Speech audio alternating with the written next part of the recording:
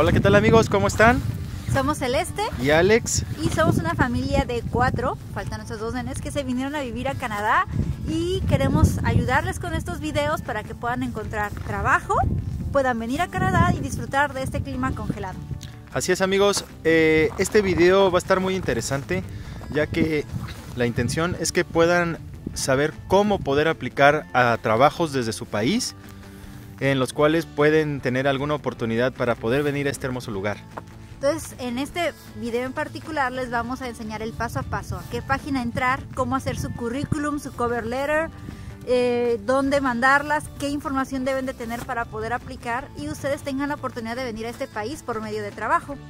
Nosotros vinimos de otra manera, pero la opción del trabajo es la que muchos de nosotros nos hubiera gustado venir. Entonces ustedes aprovechenlo y si les gusta este video y les interesa este tipo de contenido, suscríbanse al canal, síganos en nuestras redes sociales y Denle like y compartan por favor, para que podamos seguir haciendo material como este, ya que nos gusta ayudar a las personas para que conozcan un poco más sobre los procesos y para, para todas las familias que quieren venir. Estamos aquí en la página de Job Bank. Ahora afortunadamente hicieron una separación con todos los empleos donde los empleadores solicitaron un LMIA, que aquí aparece, Labor Market Impact Assessment. Esto realmente es un permiso que tienen que solicitar las empresas para poder contratar a alguien que no es ciudadano o residente en Canadá. Entonces, todos los que quieran contratar a extranjeros, una persona aquí en Canadá tiene que sacar este permiso que al final de cuentas es comprobar que han intentado buscar o encontrar a un empleado aquí dentro de Canadá y no lo han logrado. Aquí nos parece que actualmente hay cuatro, casi 4.000 eh, trabajos. Sin embargo, a pesar de que hay muchos otros videos donde dicen que todos están disponibles, les voy a decir no hay tantos trabajos. Aquí les voy a enseñar cómo buscarlos y se den cuenta cuáles sí y cuáles no podrían ustedes aplicar. Cuando llegan a esta página, de todos modos la liga la voy a poner en la descripción. Eh, tienen que seleccionar la parte que dice aquí buscar. Sin embargo, también está en español. La voy a poner aquí en español. Se encuentra un nuevo empleo en Canadá. Vamos a buscar es de estas ofertas cuáles ustedes podrían encontrar. En este caso hay muchísimos resultados. Ustedes los pueden filtrar por la provincia donde quisieran ir.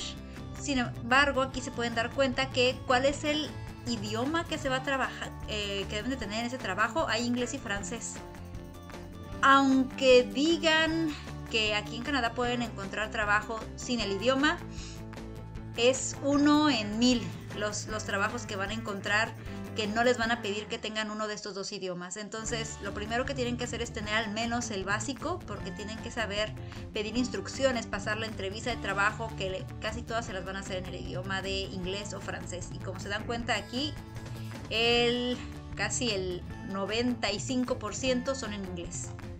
Entonces, por ejemplo, vamos a buscar a alguien de la construcción, que son muchos de nuestros seguidores o las personas que me han contactado, me han pedido acerca de construcción, entonces aquí voy a poner de construcción. En general voy a pedir en Canadá los trabajos que hay de construcción y aquí me van a aparecer muchas opciones. Yo ya había entrado a buscar aquí algunos trabajos para ver algunos ejemplos y voy a seleccionar todos estos, pero los voy a abrir en una nueva hoja para que podamos entrar a revisar cada uno de ellos. Aquí en la parte de arriba voy a empezar con ese trabajo. Lo primero que les recomiendo que hagan es que vayan a la parte de abajo donde dice quién puede aplicar. En este caso dice solamente aplica este trabajo si eres un ciudadano canadiense o un residente permanente. Si tú no tienes un permiso de trabajo, no apliquen a él no es algo que por default aparezca aquí, es algo que el empleador solicitó. No quiere contratar a personas que no tengan un permiso de trabajo y estén actualmente en Canadá. Entonces no pierdan el tiempo con estos. Yo diría que se enfoquen en los que sí van a contratar. Eh, les podrían, podrían decir, bueno, entonces ¿por qué están pidiendo este un permiso para contratar a extranjeros? Lo que pasa es que hay muchas personas digamos como un ejemplo, yo estudiante vengo, vengo aquí a Canadá y al momento en que vengo a Canadá tengo un permiso de trabajo al finalizar mis estudios. pero solamente es por cierto tiempo. Entonces, si yo ya estoy a seis meses de irme, aún tengo un permiso de trabajo, pero la única manera en que me pueda quedar en Canadá y extender ese permiso es si el empleador tiene un Labor Market Impact Assessment, un LMIA. Entonces, estas empresas que no quieren a alguien de fuera, que solamente quieren a alguien de dentro, están buscando este tipo de personas que tienen ya un permiso para trabajar dentro de Canadá, pero que están próximos a vencer. En este caso, vean, encontré este trabajo de Construction Laborer que está en Mountain, New Brunswick. Están buscando 20 personas para trabajar, 20 dólares la hora. Es permanente por el momento, tiempo completo. Y quieren empezar ya en tres meses más.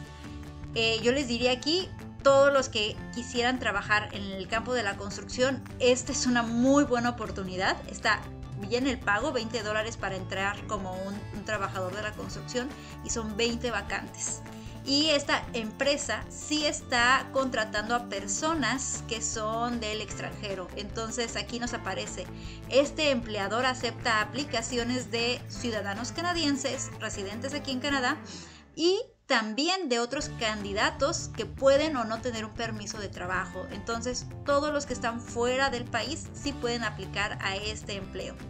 En este ejemplo nos dice, ¿quieres saber cómo aplicar? Ok, entonces vamos a aplicar aquí. Mostrar cómo aplicar. Y nos aparece que mandemos un correo. Entonces, aquí es donde deberían de empezar a mandar sus solicitudes para poder trabajar. Y qué es lo que deben de poner en este en este correo que van a mandar.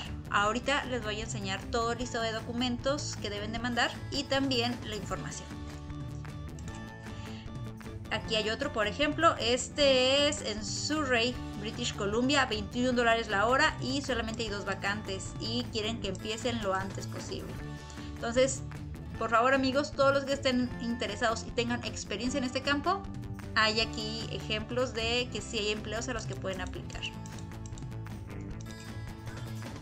Bueno, en esta parte les voy a pasar aquí el cover letter, un formato para que lo puedan hacer y también un formatito que les podría ayudar si no tienen aún su resumen o su hoja de vida y se los voy a poner también la liga para que lo puedan descargar y lo puedan llenar en la descripción. Ya que creen ustedes su cover letter, si tienen alguna duda de cómo hacerlo, también les voy a poner por aquí en la página nuestro video de cómo se llena o cómo se hace este cover letter y su resumen para que lo puedan llenar sin problemas y para que tengan mejores oportunidades.